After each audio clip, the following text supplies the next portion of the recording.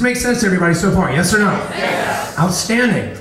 So the question then becomes is what we focus on something that we do randomly or is it a conditioned response?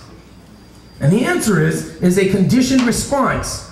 It is a response based on the questions that you and I habitually ask ourselves. It is a response based on the questions you and I habitually ask ourselves. It doesn't necessarily have to be on a conscious level. It could be on what level? A subconscious level. Subconscious level. Here's the questions you condition yourself to, to ask yourself over the years. Such as some people might ask themselves questions like, why am I so fat?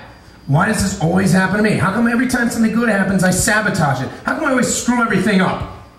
If you're always asking lousy questions like that, what kind of answers do you think you're going to get? Lousy. lousy answers. Why? Well, let me tell you how your brain works. Imagine for a moment that you have inside your mind a filing cabinet.